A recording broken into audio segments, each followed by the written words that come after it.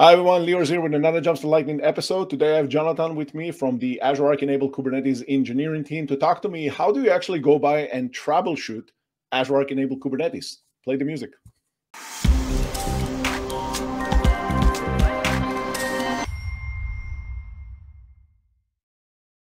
Hi everyone, Lior here with another Jumpstart Lightning episode. Today I have my friend with me, Jonathan Wang from the Azure Arc Enabled Kubernetes engineering team. Jonathan, how are you doing?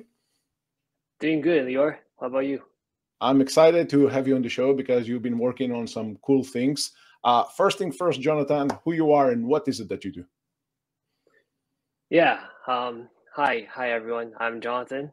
Um, I'm in the Arc product team, and uh, mostly focus on supportability site right now. Meaning that I look for all the uh, situations customer got into, and try to figure out a way to help them and make their life easier.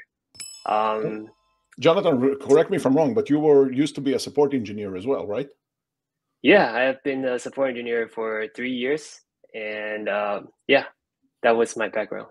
So that's a lot of that's a, that that those are many years of listening to customer, uh, you know, problems with you know with products. So that uh, that's definitely an interesting experience. Uh, I wish we had more time to talk just about that, but today we're here, Jonathan, to talk about uh, something pretty important uh, that you worked on, which is how do you troubleshoot? How do you diagnose um, Azure Arc enabled Kubernetes clusters? So before we're diving into into the document, and you know, I know that you also have a good demo to show me. Talk to me for a second about the motivation of creating something like this. Like, what was the reason behind this? Right. So, um, Arc is still relatively new to a lot of a lot of people. Mm-hmm. and when they are trying to know more about the service it is just natural that they will try out something. And um, based on the incoming uh, support requests and uh, community questions i see a lot of folks stuck get stuck on the first step which is onboarding resources uh, to to arc. And i think uh, I wanted to focus on Kubernetes onboarding scenarios today mm-hmm. because I feel like that's like what is trouble uh, like uh, a lot of customers are encountering today. So yeah, basically that's the reason why uh, the product group tried to come up with the off- official documentation mm-hmm. and along with a step-by-step guidance for customers to go through when they get into this situation again. Yeah. So we're looking at the, you know, we're seeing on screen the document right now, and I wanted to, I wanted to ask you, Jonathan, on, you know, in the context of those support cases, the things that we're seeing, were you surprised by the fact that the thing that was the, the first thing that you do, right, is Arc enabling a Kubernetes cluster. That's the onboarding experience. That's connecting that to the control plane and all of that. Were you surprised by the number of cases that we were seeing around this? Um, surprised and not surprised because like when I when I look in when I got the data, like uh, how many people are stuck on this, and and I went trying, I mm-hmm. understand mm-hmm. like why they were stuck, and I I figured it would be, I like don't get me wrong, like the product group has been improving the documentation every day sure. and trying to make it as clear as possible, but I think it will not hurt to have another dedicated uh, documentation just to talk about like what are the configurations customer need to do for them to onboard their clusters successfully. Yeah. 100% and troubleshooting guides is something that's been there for ages. And every you know again this is just my opinion but every good product should have some sort of troubleshooting guide. So jonathan we're looking at the doc. Walk me through this. Sure. Um, so when we when we look into the documentation uh, you can see that uh, we we separated it into two main areas. One mm-hmm. is the connections without a proxy, and the one like connection with the proxy server. Mm-hmm. And um, if we scroll down, uh, it's all text. But uh, I know, like, if we see a, a graph, it's always more interesting. Right. So, like, let's start with maybe connection with without a proxy, and then let's just expand this graph. Okay. So, um, in this graph, you can see the first step is that we try to see like whether the user, the one that is executing um, the the onboarding scenarios, whether that user has sufficient permissions, and we can look at this from Azure Portal actually. Mm-hmm. So for me, uh, in my own uh, subscription, if I go to Azure Portal, you can see I am the service administrator and I have full access to all resources. So for that point, uh, it's good. And then we can go back to the previous tab and look at this, the next one. Um, like whether our CLI is the latest version, and that mm-hmm. will lead me to bring up the uh, the terminal. And it's already uh, typed down, so I just need to press enter. So basically, what we're you know Jonathan, just from a flow perspective, we're trying to lay down the fundamentals first, right? Before we're diving into the more complex thing, which is just like, hey, let's dive straight into networking. That you know, there are a few things that needs to come before that, right? Right, right, and and those are really important steps because they will set the found foundation of like whether the environment is suitable for uh, cluster onboarding. Okay, all right, so we can see that uh, now we are at the, the terminal, and then we can see our Azure CLI is actually running at 2.43, and I mm-hmm. believe it, if it's not the latest, it's not not not far away from the latest because I just updated like yesterday. I think so. it's the latest. I I checked it this morning actually. Yeah. okay, that's good. That's good. Um, okay, and then uh, we can head back to the the graph and see what's next. Okay. Um, the next will be uh, whether our extension is actually at the latest uh, version. So now again, we head back to the terminal. Right, so the next command we should be uh, listing out. Um, so I have actually, just let me go through the, the commands, should be somewhere here. So this is the extension. Mm-hmm. And then uh, we have all the required extensions um, installed, and I believe they're all in the latest version as well. Okay. Yep. And let's head back to the to the graph again. So the next thing is um, whether you know the the kube config is actually pointing to the right cluster. Mm-hmm. Um, so I think from this step and the next step and the re- resource provider part, I want to just skip because it's basically just doing the same as the previous two steps. You sure. directly. It's yeah, it's a foundation. Yeah. Okay. Yeah. Um, and we can directly jump to the the network requirements part because that's like like what most people are like stepping stepping upon on. Like that's they, where people. that's issues. where things are breaking, right? I mean. Yes, exactly, exactly, and and I can tell you like how many different kind of issue I see here. Some people are running into DNS resolution issue. Some people, mo- most of the time, it's just about like whether the network is able to access to the required endpoints. Yeah. And um, so I have prepared like a little bit of uh, environment uh, to show so that you can actually uh, test it yourself, like whether your mm-hmm. environment mm-hmm. is allowing you your your cluster to access to those required endpoints. Cool. Show it to me.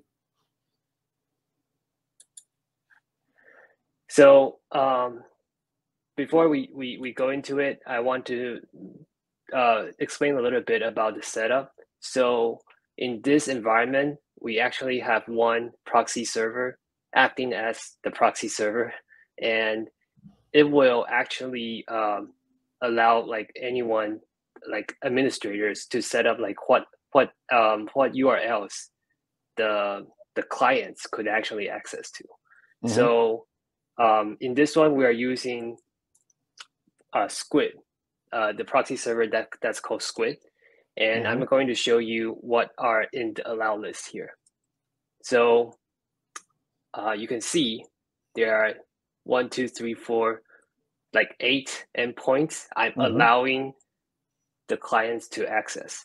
And okay. meaning that if my client tried to access URLs other than this eight endpoints, they are they will not be allowed to access, and they should be getting like a 403, like uh, an authorized access, mm-hmm. or or something similar. So let's take a look at that.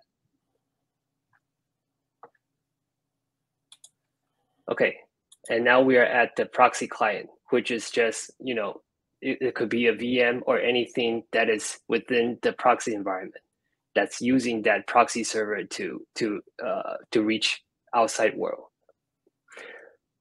And we can use the command curl with mm-hmm. this actually is my proxy server IP address. And then this is actually the URL I'm trying to access to. Yep. And as you can see, google.com was not in the allow, allow list I just showed. So I should be getting the 403 uh, access right now. And then you see it. We actually get a 403.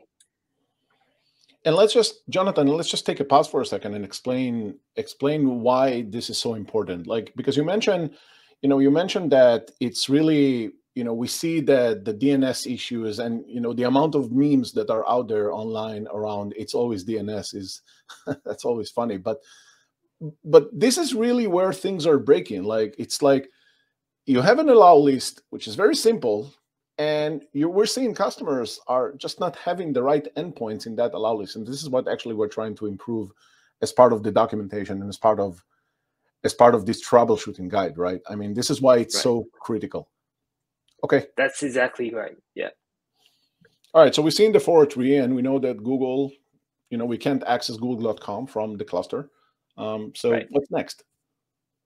What next is like what like I would like to show another example of like the ones that this this client can actually access to so that you can have a comparison like uh, the message you're seeing actually tell you what you can access and what you cannot. All right. So another URL I'm testing here for showing that they can actually access is uh, portal.azure.com. Um, sorry, let, let's use login.microsoftonline.com because okay. this one shows more direct messages. Um, so if I uh, click enter, I actually get 503 servers unavailable. It's so if you go look up 503, it's not saying anything about access or permission. It's actually something on the server side because we're using curl, so it cannot really show that um, you know the whole content it, it wants to show. But basically, it's saying that they have access. This client has access yeah. to access to the required endpoints. So that alone, I think it's like the part I want to show in the network requirements uh, section. So it's an acknowledgement, maybe not maybe the the message because of the architecture the way things are laid down the message is maybe not the one that you were expecting to see but the actual fact that the fact that you're getting a message that's your really your 200 quote unquote. That's really your okay. Right. Exactly. That's yeah. exactly right. All right. Okay um and then with that i think uh that's what i want to show in the proxy part and then we can head back to the to the graph and see like what else we will need to check before uh, you know we can safely say okay you know we can go ahead and execute the onboarding command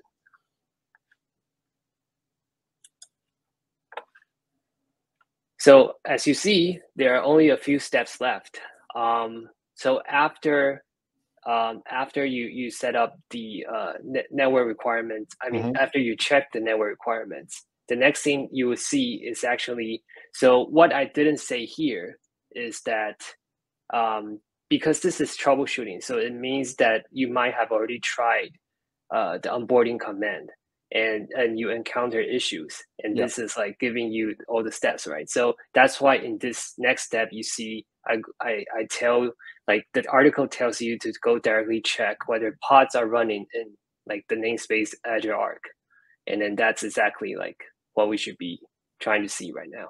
Okay.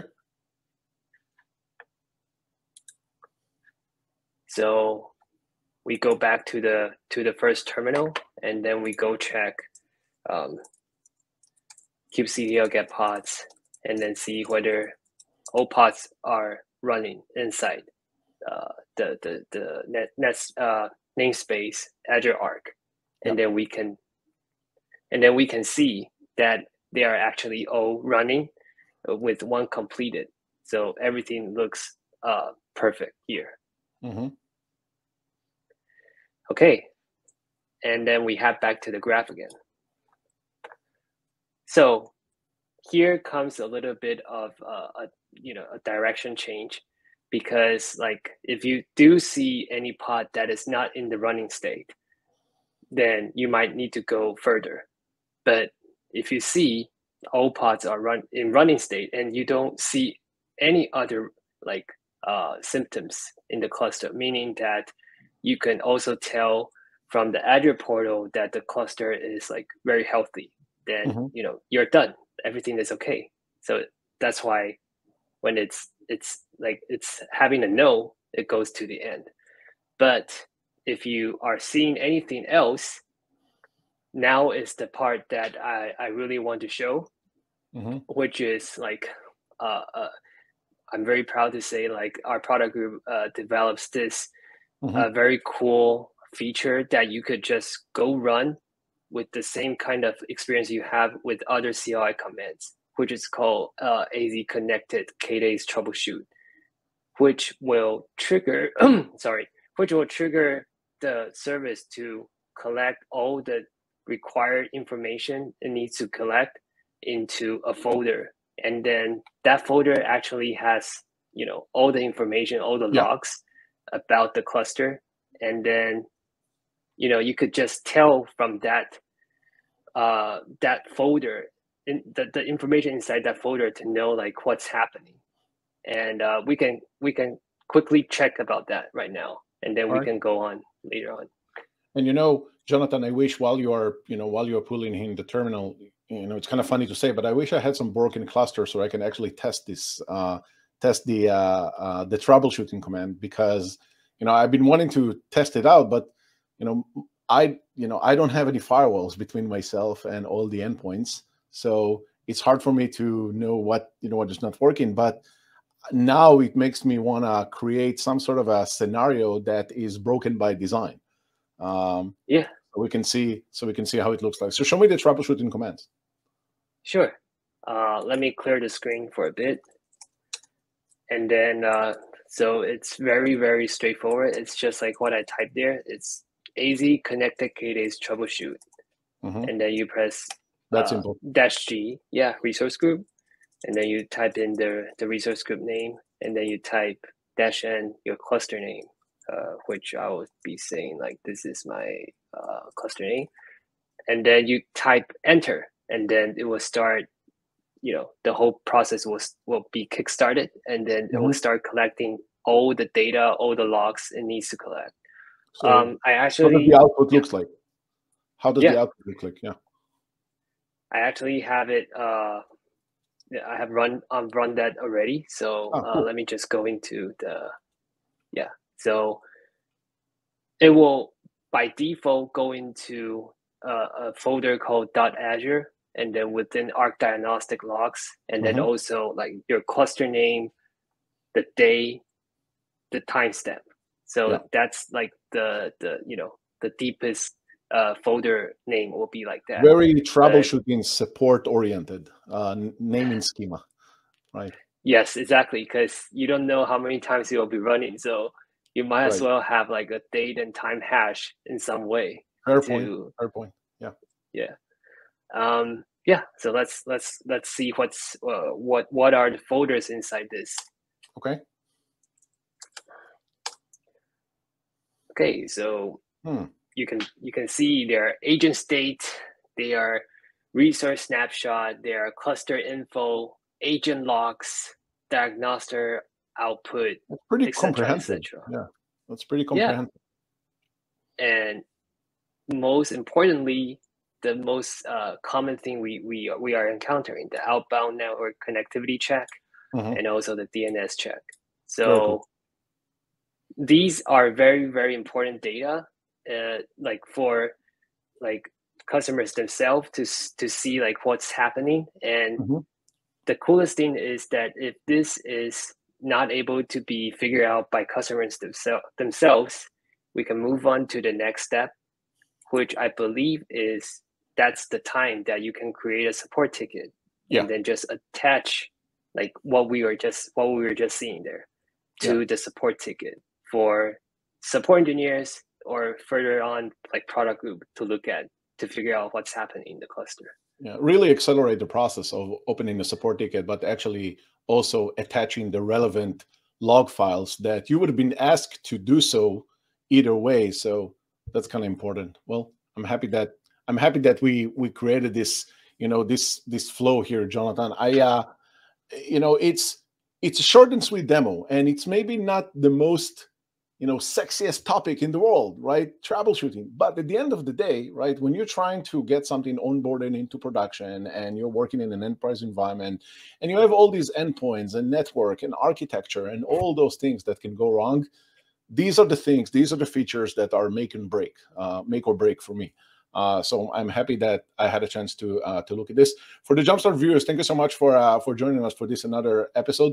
Let me know in the comments down below. Is this is something that you feel will help you moving forward with your Arc-enabled Kubernetes journey? Do you feel that this is something that you will want to learn more on? Let me know in the comments down below. We'll come up with more things around this line of uh, topics um, to share with you. Jonathan, I wanted to uh, tell you uh, thank you or uh, for you know for joining me for this uh, Jumpstart Lightning episode. Always a, a, pleasure.